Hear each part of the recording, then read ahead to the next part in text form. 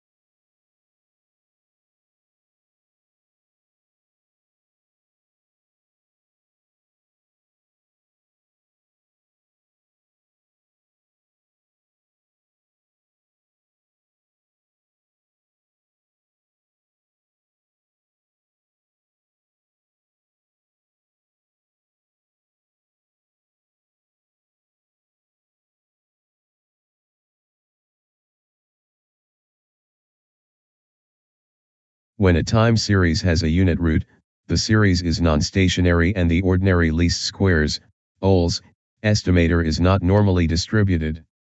Dickey, 1976, and Dickey and Fuller, 1979, studied the limiting distribution of the OLS estimator of autoregressive models for time series with a simple unit root.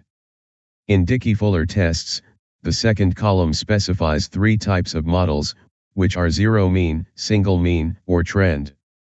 The third column, rho, and the fifth column, tau, are the test statistics for unit root testing. Other columns are their values.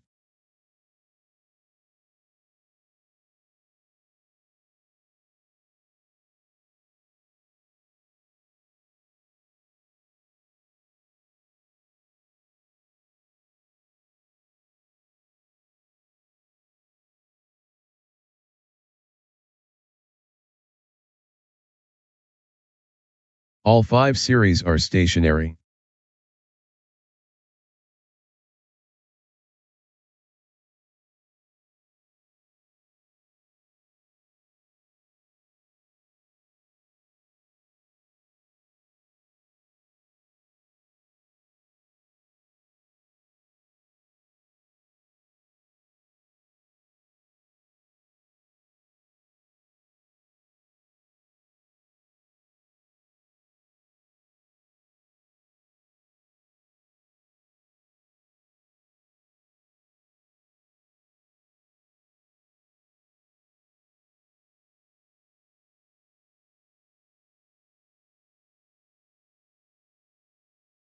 In the co-integration rank test, the last two columns explain the drift in the model or process.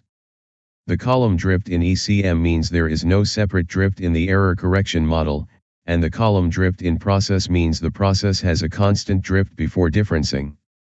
H0 is the null hypothesis, and H1 is the alternative hypothesis.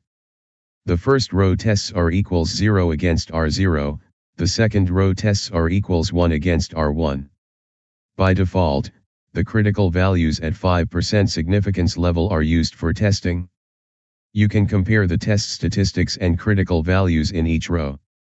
There is one co-integrated process in this example since the trace statistic for testing R equals 0 against R0 is greater than the critical value, but the trace statistic for testing R equals 1 against R1 is not greater than the critical value.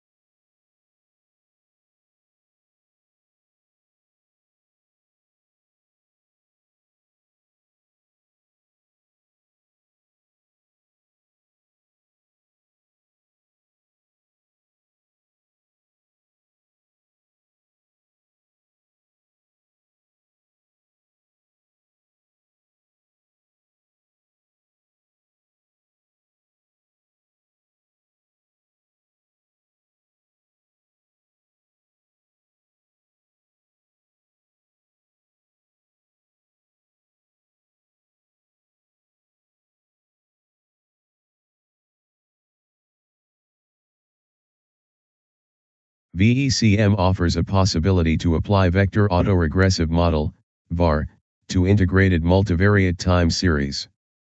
The process of estimating the VECM consists roughly of the three following steps, the confusing one of which is for me the first one. Specification and estimation of a VAR model for the integrated multivariate time series. Calculate likelihood ratio tests to determine the number of co-integration relations. After determining the number of co-integrations, estimate the VECM. In the first step one estimates a VAR model with appropriate number of lags, using the usual goodness of fit criteria, and then checks if the residuals correspond to the model assumptions, namely the absence of serial correlation and heteroscedasticity and that the residuals are normally distributed.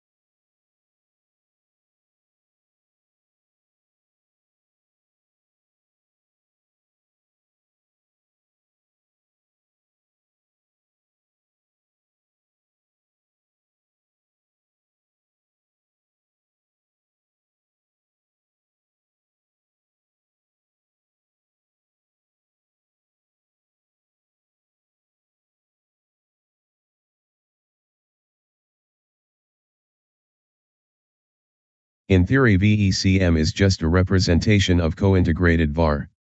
This representation is courtesy of Granger's representation theorem. So if you have co-integrated VAR it has VECM representation and vice versa. A vector error correction model, VECM, can lead to a better understanding of the nature of any non-stationarity among the different component series and can also improve longer-term forecasting over an unconstrained model.